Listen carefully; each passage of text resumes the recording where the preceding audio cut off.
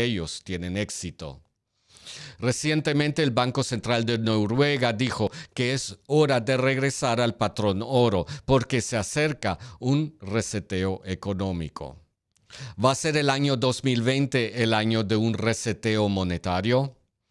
Mientras tanto, en los Estados Unidos, Zuckerberg de Facebook testificó en el Congreso intentando salvar su criptomoneda Libra.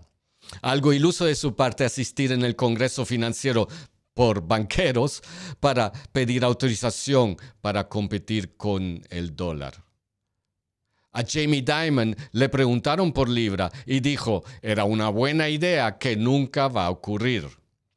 Dijo que la cripto de JP Morgan, el JP Coin, sí va a funcionar porque está respaldado por el dólar. Imagínese qué alivio, ¿no? Lo interesante fueron las declaraciones de Zuckerberg buscando la aceptación de Libra.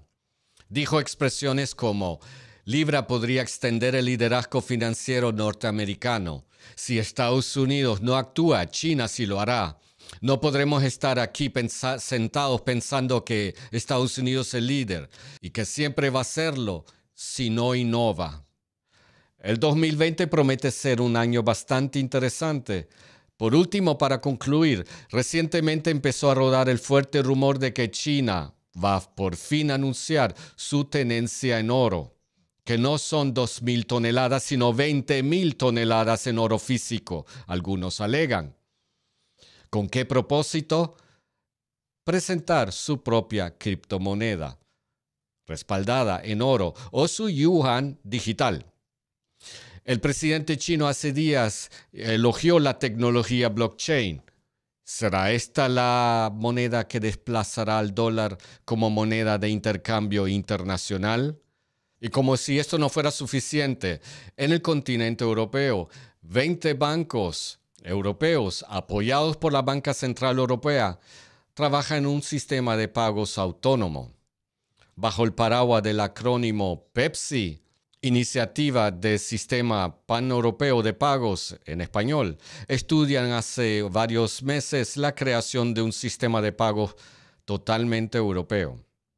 Carlo Bovero del banco francés BNP Paribas habló de esa iniciativa el martes 6 de noviembre en una conferencia organizada por Review Bank y dijo que se trata de un proyecto muy serio entre bancos que representan una gran parte de Europa.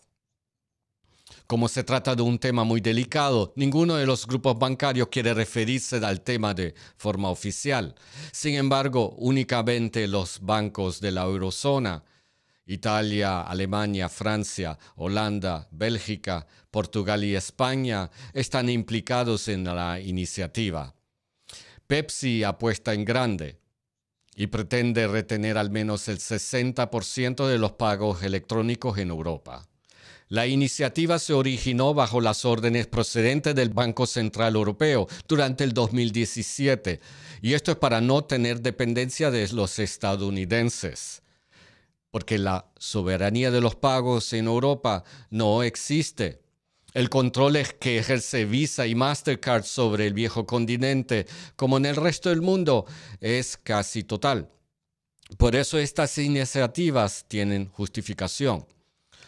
Basta que un presidente estadounidense enojado tome la decisión de cortar los pagos y listo, se paraliza todo.